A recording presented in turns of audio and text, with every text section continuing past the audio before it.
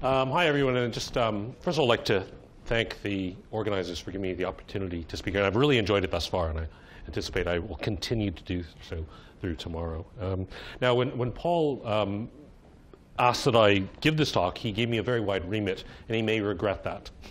You'll find out in the next half hour because this is a bit of a ramble, so it's a bit bits and pieces of things. Um, they are very broad topics. Fortunately, a lot of the ground has already been covered because people have been using FMD and bovine TB as exemplars throughout, which is great. Um, now, I'm going to start off, um, well, introductory side. I'm going to talk a little bit about the difference between deductive and inductive reasoning, um, some lessons that we learned from the FMD epidemic in Britain. Now, that is not a wildlife uh, slash domesticated livestock disease example, but it is an example of the interaction between policy and disease models um, with some good lessons to be learned, mainly on what not to do rather than what to do um, in various ways. Um, I'm going to say a little bit of what the models can tell us um, and then go on to bovine TB, which is what I spend a fair bit of my time working on now, less so on FMD. And some, if I have time in, in the ramble, I'm going to bring up some, some new science, largely about sequencing, which I've mentioned a few times. Okay. So we're going to start off with a non-disease problem in a way. Um, so Sherlock Holmes, very British example. Um, and this is one of his most famous quotes when you've eliminated the impossible, whatever remains, however improbable, must be the truth. Um, and this is a, a one of the original illustrations from the Sign of the Four, which is where this comes from. And what people don't, a lot of people, well, some people do know this. Well, maybe, maybe you've heard this before. Um, Sherlock Holmes is believed to have been based on a medical doctor who was a teacher of Arthur Conan Doyle. And so a lot of the techniques that he used for his forensic investigation of crimes come from forensic epidemiology, essentially, for forensic investigation. Okay? And so there is a clear link here between the kind of stuff that the veterinary epidemiologists, particularly the ones who work in the field, the way they approach their understanding of the problems. And it's enormously valuable, so I'm not going to say that it isn't at all. It gives great information, has been enormously successful in a lot of cases. Okay, and so traditional forensic epidemiology over here. How many of you have watched the program Sherlock? Anybody? It's really good. I mean, I didn't think it would be. I thought this is the stupidest idea I've heard since, you know, um, an immortal Highlander. Um, but anyway, that's another matter altogether. Um, now, this is, there's a conversation in one of the, the, the, most recent series between Sherlock and his elder brother Mycroft, who is actually supposed to be better at deductive reasoning than Sherlock because he just doesn't have the energy to go out and do anything about it. And they're, they're having this little contest where they're trying to decide who this guy is on the basis of this woolly hat they have. And at one point, Mycroft says this. Um, he, he makes an inference and he says, balance of probabilities, little brother. Now, the reason I bring this up is because this is actually very un-Holmesian. Okay? Sherlock Holmes would never, ever say this, and Mycroft Holmes would never say this in the original books. And the reason why is because it's inductive reasoning. Okay, probability has nothing to do with deduction. Deduction is all about eliminating everything that doesn't make sense and sticking to what you've got, okay, afterwards and saying that is the truth. And it's much more along the lines of mathematical and statistical modeling okay, where what you're trying to do is establish broad patterns. Now, obviously, there's an overlap between the two, but what I would suggest is that there's a clash of cultures here, that a culture which is largely based on the inductive reasoning point of view versus one that is largely based on the deductive reasoning point of view can work together and be better than each one individually, but also can end up having um, problems, shall we say. And one of the examples of this problems is the 2001 foot and mouth disease epidemic, where there was an enormous clash of cultures between the traditional epidemiologists and the mathematical modelers. Now, I think we've come a long way since that, okay? We've got people sitting in here in this room talking together before outbreaks about how we can bring these philosophies together. Um, but this is one example where that didn't work. It was a national catastrophe in Britain, cost an estimated 8 billion plus pounds to control. Over 6.5 million livestock were culled. Lots of knock-on effects. I'm not going to go into all the details over here. Um, I'm not going to go into any background with regards to the virus, except to say in this case, the key thing here is the existence of the seven distinct serotypes and the multiple strains, which is one of the problems we have in terms of controlling it, because there's no cross protection across the different serotypes, and there's only partial cross protection against the different strains. And certainly in Africa, what you see is wave after wave of FMD um, strains coming through and reinfecting local animals. Okay. So um, it's largely a disease of cloven-hoofed animals and infects all sorts of domestic and wildlife species. It is highly infectious, as was mentioned before. It's possibly the most infectious uh, virus that we, we know about. It can be transmitted by aerosol transmission, also by direct contact and by fomites. It can survive in the environment for a reasonable length of time. Nobody, as you can imagine, does any experiments on these nowadays. There's some very old Russian results, I think from the 50s or 60s, where they looked at this and saw that under certain conditions that it can survive um, certainly weeks potentially months. Now, whether or not that translates into uh, transmission of infection is another matter, of course. All right. Um, it does cause death in young animals in particular, and does cause production loss in older animals. Okay, so the key thing over here is of our three major domesticated livestock species, in terms of the amount of um, virus being produced, pigs produce the most. Okay, so they are the biggest source of aerosol um, for transmission of the disease. On the other hand, cattle breathe in the most air, and they are therefore, in a sense, the most susceptible to it. So there's an interaction, interesting interaction amongst the three species here. Pigs producing the aerosol, as I said, cattle um, being the most susceptible. Sheep neither produce a lot of virus, nor are they particularly susceptible most of the time, although there's an awful lot of variation there. Okay? Um, but they have a particular problem, which is, is, that it's often very hard to spot the clinical signs. So as you go about doing your veterinary investigation, sheep can often pass um, undetected. And this was a particular problem in 2001. So the traditional control policy is um, rapid detection and removal of infected premises. Basically, people go out, they go and look for these premises, they contact trace, and you basically slaughter the animals as quickly as you possibly can. And this was the method that was used in Britain over the, the previous century, and very successfully, really, in the end, managed to get rid of the disease. Okay, so um, very few outbreaks, for example, between 1967 um, and 2001. One outbreak, and that was a an aerosol spread from France, actually, um, from Brittany across to the Isle of Wight. So the emphasis is on veterinary experience, the interaction with the farmers, and the fact that you've got a large cadre of skilled staff to actually do this. Of course, what happened in 2001 was a bunch of things. Um, so disease was introduced here in the north in pigs. It spread to local sheep population via aerosol transmission. Those sheep were brought to a couple of markets, and from one market in particular, there was an enormous spread of disease all around the country. So a much wider dissemination of disease than had really been experienced in a very, very, well, probably ever actually. We don't have any records of anything remarkably like this. So there's some very definite social network aspects to this, okay? Highly connected individuals and long distance transmission. Um, now, why did we have such a big disaster? Well, first of all, nobody had seen the disease in the country in such a long time. They didn't really know how to recognize it. The state veterinary service was much smaller than it had been in 1967. And the sheep were moving at a very rare time of year. Traditionally, sheep do not move in that time in February, but they're moved at that time largely because of subsidy payments in the EU, or they were at the time. Okay, so a much bigger problem and a huge logistical problem. Okay, so this is another aspect of modeling control which we haven't talked about so much, but the impact of logistics. How much resource do you have to deploy and where do you best deploy it? So the course of the epidemic, a very sharp rise over here, and then a very long tail, which is probably related to poor biosecurity. Okay, that's the reason that's usually given for this long tail over here, and a variety of different control policies applied throughout. And the point of showing that is simply to say that if you really want to model this thing in its entirety, all those shifts in control policies can create different effects. Okay? And potentially, potentially, if you want to know that kind of detail, it is a very complex problem. Now, one of the things that came out of this, and this is probably the first time that this happened, was the generation and the use of very large databases, both on the locations of farms and locations of animals, okay?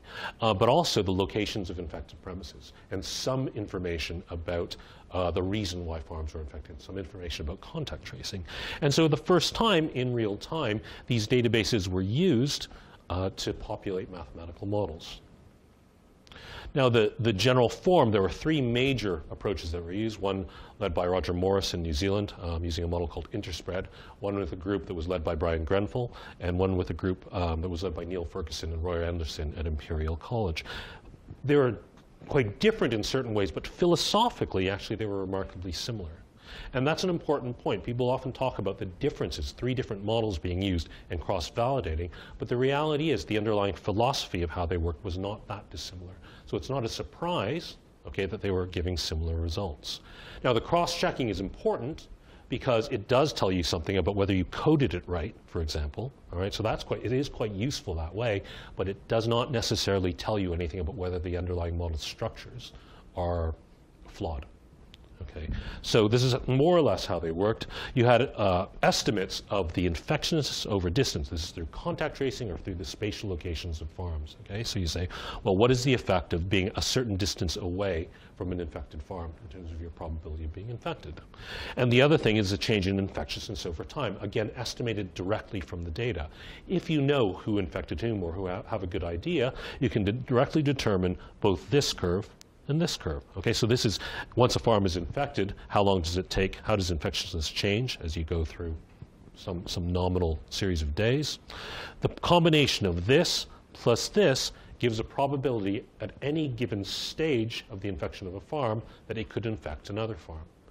And conceptually, okay, you can add in things like the infectiousness of the source farm, which might be dependent on the species and the number of animals or the mix of species, and the susceptibility of the target farm, okay, again, species, mix of species, numbers.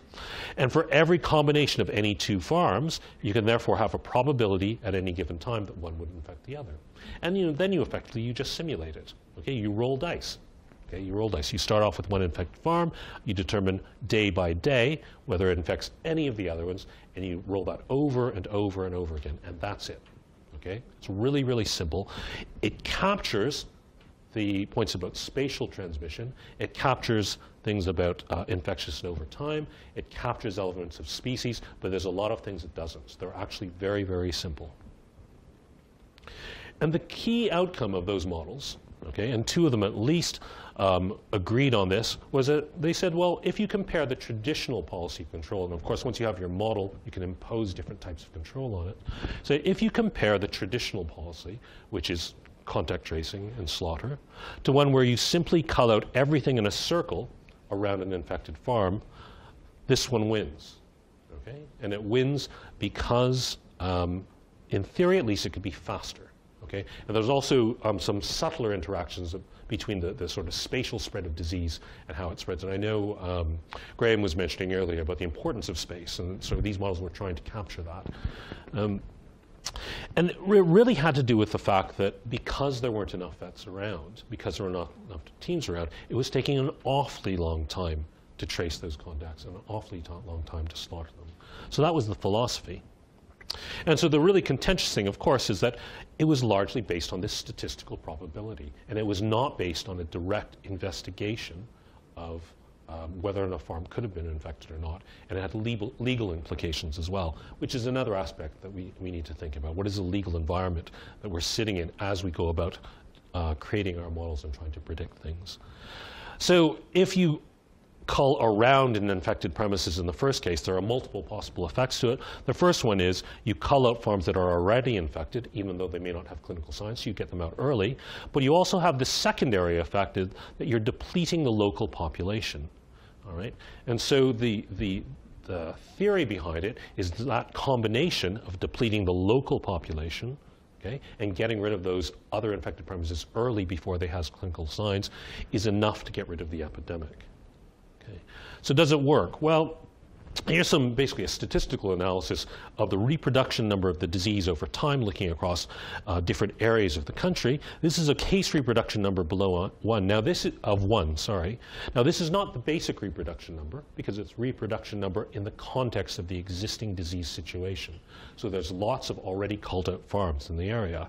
And what, ah, what you see is that it's declining over time. And at the point okay, at which the new policy was put into place, the key new policy, the contiguous cull, it goes below one. And this is sometimes um, put forward as proof that the change in policy worked. Now, the thing is, obviously, the reproduction number was going down anyway already, okay, which is pretty straightforward. And if you do a little thought experiment, and this is one of the uses for models, obviously, is you can fit a model of that type okay, to the epidemic here in Cumbria in the northwest of England and say, well, this is my model of Cumbria. Okay, and these are the simulation results over, I think this was 200 iterations. This is the actual epidemic, and you get a reasonable fit. Now, if you double the size of Cumbria, keep everything else the same, okay, but essentially double the size of this by adding twice the number of farms you have and double the area, what you see is it doesn't go away. Okay? It actually keeps rising for a while and then goes down again. Okay? And what that is, it's an indicator that what was happening is not that you were getting this local depletion of susceptibles. It wasn't the fact that you were culling out the ones in the area around you. It's just you were just getting rid of so many farms by doing this that you were getting a global depletion of susceptibles. Okay, so it was operating in a way that um, worked in a sense, but not according to the reasons for which the models were created in the first place. And um, so this was a, a, very simple model, which, which uh, we were looking at quite early on. There have been much more rigorous looks at this, um, particularly by Neil Ferguson's group um, in Imperial College, which have confirmed that in a much more rigorous way. And um, this is a really interesting pair of papers um, looking at um, some of the, the, more advanced methodologies they're using now, which I'll, I'll get back to in a minute.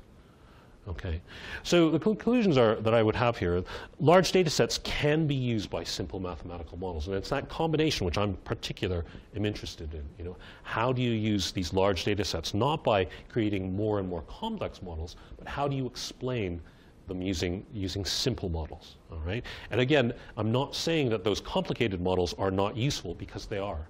Okay? They're, they're, very useful for organizing your thoughts, organizing how you think about interactions. But it's a very different kind of challenge to try to model things with simple models. Okay? Um, now, I'm going to get back to this later. This slide was done before I moved some things around, see what it is uh, about molecular data. But the other thing I wanted to point out is, in terms of the preparedness, okay, so this was on a slide earlier, but I didn't mention it. In terms of the preparedness, one of the key issues was that a lot of these things happened on the fly. Okay, so this had never been done before. It's the first time it was really being tried. Um, and the access to the data was done on the fly as the epidemic was going on. Okay? Um, the development of the models was done on the fly. Now, they have since proved to be remarkably robust. And one of the things I would say is they really did have really good, really competent people who were, who were developing them at the time. Okay? But there was always an enormous uncertainty at the time because they hadn't been validated. Right? And so I think a lot of the, the prep work that, that needs to be done, obviously, is that these things need to be done, done ahead of time. They need to be validated ahead of time as much as we possibly can. And you're better off with a tool that you know what it does than you are with something that uses the latest thing. And I think this is where the tension between my scientific self, who really does want to use the newest, latest thing, and what you might do in the event of an outbreak, need to you know, um, reconcile themselves to each other, I guess. Okay, now just to switch diseases, in Britain, FMD was enormously controversial. Okay, the, the, the modelers and the vets, um, the rural countryside, and, and, other people. If anything is more controversial, it's bovine TB, and the role of the badger in particular, because the badger is a um, an iconic species uh, for the British in terms of being a symbol of wildlife a, a much loved species. On the one hand, the people who are, are very much uh, pro wildlife versus largely speaking the farmers on the other hand, um, and the balance between um, culling this population and controlling the disease. Okay? So there are issues of persecution of this protected uh, species, issues of, of thousands and thousands of cattle being culled, possibly needlessly, because there are issues of why are we doing this? Okay, the zoonotic risk is minimal nowadays with pasteurization of milk. Okay? Um, so there's all sorts of layers to the interaction, ranging from the actual disease itself to the interface between the wildlife and the domesticated species, to the role of human behavior in the control of the disease. Okay, whether it be farmers who are going out and um, illicitly culling badgers anyway, okay, to the role of the vets in, in applying the, the, tuberculin test, which is highly subjective, all the way through to what you do within the legislative environment in the EU. Okay, and some of these things have been mentioned before. Okay, some background. Again, this has largely been covered. I think the only things to mention here are one, it's a very slow disease, certainly compared to FMD. It makes contact tracing really difficult. Okay, the duration of infection at the animal level is so long that you don't really have an idea of what are the contacts and, um, that might have caused infection. And this is one of the real challenges in modeling it. Um, you can infect pretty much any mammal, it seems, with TB. I mean, if you give it enough TB, it just seems to infect things, it seems. Um, environmental exposure is important. Um, yeah, okay, so we'll shift on. And as I said, it's very, very complex. Okay, so you've got all the factors of different wildlife, possibly the environment being involved, the environment being loaded up by cattle and or the wildlife. You've got management and control issues all the way from the individual herd up through the area, up through the entire continent, speaking of the European situation. And you've got possible variabilities, first of all, in terms of the animals, and you get possible variability in terms of the pathogen as well. And all these things are potentially changing over time. And the key underlying question, and the one that which we don't know the answer to despite years and years of study, is how often are badgers giving disease to cattle and how often are cattle giving disease to badgers? Because if we knew that, then that informs all the other aspects of control. Okay, it's the single fundamental question which we do not understand yet. Now, this is a, a, now fairly old picture of the disease in Britain, and mirroring some of the comments we had earlier, you saw through the 50s and 60s a very dramatic decline in incidence in cattle herds. Now, this is partially, probably, partially dependent on the subjectivity of the test. And so friends of mine were saying that um, if you were a vet in the mid 80s, then essentially you did a TB test by waving your hand over the herd and declaring it free. Okay? So this very low incidence probably isn't as low as it appears here, but it was probably low because at the end of the day, you still had slaughterhouse inspection, which should have picked up you know, heavily lesioned animals if there were lots of them. Okay, so, so some caveats there nonetheless. And we can look here, not only was there a dramatic increase in terms of the number of animals being identified as positive in the number of herds, but also the size of the area being determined as, as being of high risk. Okay? So a very alarming, dramatic increase here between 1998 and 2006. It stops there because very soon after they changed the way they determined the areas of high risk. Now what these are are areas in red um, where animals are under one-year testing, in yellow under two-year testing, in green under three-year testing, and in blue under four-year testing. Okay? So another challenge is how do you take those different testing regimes and get an estimate of true prevalence. Because you've got a rising disease on the one hand over time, changing testing scenarios, changing areas under different testing, and it actually ends up being enormously complex to determine what the true instance is. Okay. One of the key pieces of data underlying an understanding of this comes from what was called the randomized badger culling trial, which was instituted in 1997. Okay, what they did was what is possibly the largest field experiment ever tried. Um, they took 10 triplets, they called them. Each color is a different triplet. Um, and they implemented three different, um, well, two controls and two types of disease control and a um, uh, experimental control. So in one of these areas in the triplets, they did nothing. They simply observed what was happening. In one of the triplets, they, they culled as many badgers as they could proactively. And in one of the triplets, they culled out badgers, but only in response to disease on a farm. Okay? Now, one of the interesting things about this is they thought they knew ahead of time what the answer was going to be. Okay? What they thought they had to do was convince people that culling badgers was going to have an effect. Okay? And um, they didn't know whether reactive or proactive culling was going to work, but they thought this is going to work. The previous evidence suggested it was. We just need to show it. But um, surprise, surprise, okay, um, the outcomes were quite different from what they thought. First of all, reactive culling, um, as was mentioned, perturbing the, the pig population results in greater movement. Perturbing the badger population also results in greater contact, or at least that's what we believe was happening. But there's a clear relationship between reactive culling and increased incidence of disease in cattle. Okay, so that was the first thing that they weren't expecting. And that occurred both in the reactive areas and in the proactive areas. Okay, in the proactive areas, you had a core area where there was a positive impact, so you reduced disease incidence, and around that there was a negative impact. Okay. And last one, also surprising, and this is um, now um, going back to the FMD epidemic, um, in 2001, while FMD was on, there was no testing of cattle. All the vets were busy doing something else. As a result, the incidence in cattle had a dramatic rise, okay, and they were loading up the environment in some fashion with more, um, more M. bovis. Um, and there was a measurable change in the amount of TB in the badgers.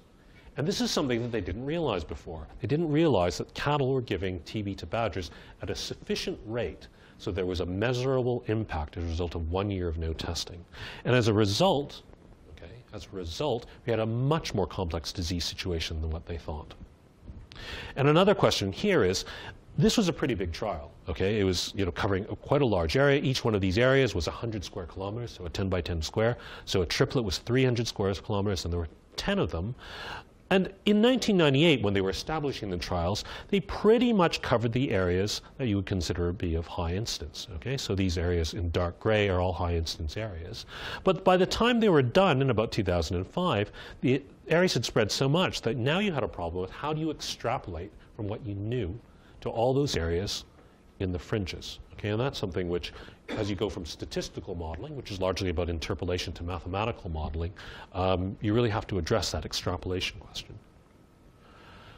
So we have databases. Uh, this has been mentioned before. Um, not only do you know where all the animals are supposed to be, and keeping in mind that as with any data, these are flawed in various ways. There's lots of problems with it. If you work, anybody who works with data will know that that's going to be the case. Um, and so you, you, for example, know whether a cow started out in a high-risk area, where they might move to elsewhere in the country. So very explicit information at the individual cow level, plus all the testing results. Okay, this used to be not the case, but now they're recording all the positive and negative test results. And if you want to, you can also get the skin thicknesses that are being recorded, although some people do say that you see a remarkable consistency in the readings that people put down sometimes. Okay, so the tuberculin test is basically a, a, measurement of the reaction to um, an injection of a, of a, of a tuberculin. And the measurements they give across the herd tend to be the same even though the variability is actually quite great because of the um, environmental bacteria, which again is another human factor. Okay, people do not record necessarily what they see. So we have all these information that we can feed into models.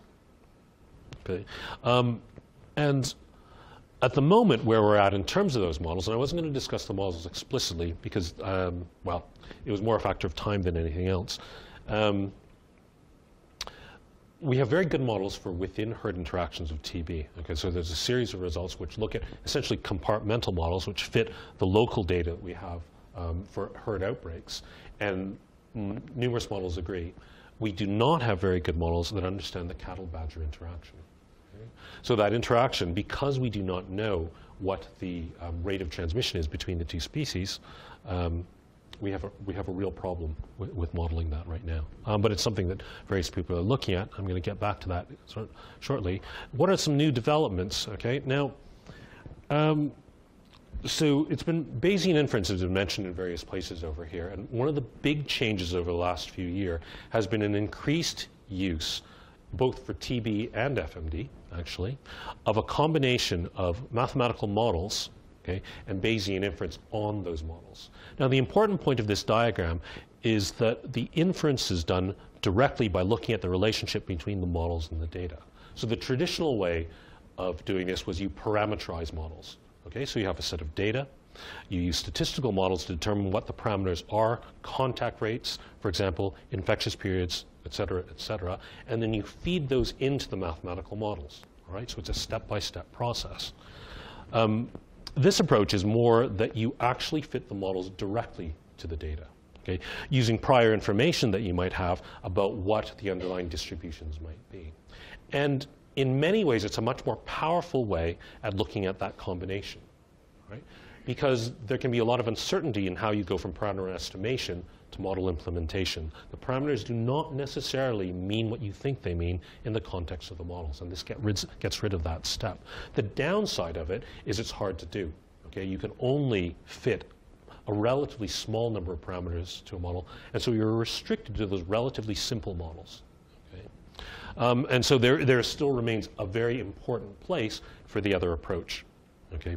Parameterization using traditional regression models implemented in more complicated mathematical models. Okay, so that's one thing. And the other thing I was going to mention is the implementation of uh, models that incorporate sequence data. Okay, so now we can take virus and bacteria, and for a reasonably cheap cost, we can take the whole genome and we can sequence it, and we can track the mutations as they go from place to place. And this is an example of some work that was done by um, Dan Haydon's group, where what they were looking at is a very small foot and mouth disease cluster um, in England, and they were trying to determine whether they could find it, with reasonable precision whether any given source premise was a source for any given infected premise. And so they developed a combined mathematical model that took into account the genetic information, the information about you had about spatial distances between premises, and the temporal information. So how long is a premise, um, how, how, how, far apart are the recorded times of um, identification and estimated all the underlying parameters that, into that model, so infectious periods, infection over distance, et cetera. And the end result of that was that it showed a very, very strong relationship between particular infected premises and particular um, source premises. Okay? So a very, very clear relationship that said this is the most likely farm that infected this farm. Now, what this does not do, and you have to be very careful about this, is it does not ask the question whether a completely different model okay, will actually give you the same result. So there's a model consistency here. They're saying, given the model, I can predict this, but it actually doesn't tell us whether it's true or not despite that particular problem, um, this is an enormous advance over what you could do before. And there are some other examples where they looked at the 2007 FMD epidemic, where you only had six farms to look at, where again, um, you get very, very good relationships, uh, contact tracing relationships between the two things. Now, looking at a much higher scale, you can actually look directly at the evolution of the virus or bacteria and use it to infer all sorts of things. And so, for example, this is some data that um, we were given courtesy of um, Suelee Robbe-Austerman. Uh, she very kindly passed this on to us to look at use, using BEAST, an evolutionary analysis package. And uh, Dan O'Brien is also involved somewhat in this. And the idea here is that you look at the location of the individual isolates you get, and you look at the mixing properties in the phylogenetic tree between those different locations. And those locations can be, for example, species, as we have over here, and these represent essentially the amount of transitions between the different species, sorry, in groups, beef versus dairy animals, for example, that you have based on the phylogenetic data you have. So all you're looking at is how much time does this particular lineage spend in one group or the other? And so you can get estimates directly of the transition rates between them. Now, there's some strong assumptions underlying this, okay, which are quite important regarding basically you have to believe that the molecular clock is the same across the different groups, or that you have some estimate of the relative um, um, molecular clocks between the two of them. Uh, but nevertheless, it's a, it's, a, it's a really interesting new way of looking at this problem by looking at the pathogen itself. And of course, rather than species, you can also look at geographical locations. How much do all these locations across the United States seem to mix with each other? And so you get a direct estimate, again with a number of assumptions underlying it, of the mixing patterns between the different groups. And I'm not saying it gets rid of the need to look at um, trying to find the individual cattle movements between the places, but it does give you independent corroboration about whether or not what you see makes any sense or not. Okay, so really amazing stuff. There's a problem, of course, with using those data at the smaller scale, which I want to mention over here. So imagine you have um, M. bovis moving from a cow to a badger to another cow, and each one of these colors represents a different mutation. So you have this original type here, mutates to this type, mutates to this type, mutates to this type. If I collect this one, this one, and this one, I get a very, very clear transmission chain. Okay? I'm saying this guy infected this guy, infected this guy. Okay? The problem is, okay, we do not know where the mutations occurred. All right? So over here you get the same blue to orange to yellow to, sorry, blue to red to yellow to orange, the same sequence of events, but if all three of those events occurred over here in this cow, it's equally likely that this cow gave it to this badger and gave it to that cow with, with really important differences in the way you interpret the outcomes. Another factor is that you never sample the bacteria that caused the transmission, right? I mean, you can't. You always pick up the one that didn't move from one animal to the other. And if mutations occur between this one and the one that you take, you can also miss the transmission events. And that's why to get this very detailed forensic look at what's going on, you need to look at the combination of these data with other data. Um, just one last point regarding to this. You can also use the data in the context of what you know about the geography. So this represents the spatial extents of individual clades in Northern Ireland of M. bovis, showing a very strong spatial structure between how the individual groups of pathogens are being transmitted. And that information is enormously valuable in terms of understanding how things are transmitted. Okay. Um, I'm just going to, these are all the people who are involved in this in various ways, so just say thank you to them very briefly. And I'm going to skip that all because I just wanted to say, well, first of all, this that what we really want to do is bring these two groups together. And obviously, this grouping here is one of them. And the other thing I wanted to say is we've got a job going. If somebody wants to analyze all those M. bovis sequences and all those data, um, or you know a postdoc who's interested in doing that, then send in my direction. Okay. And thanks very much.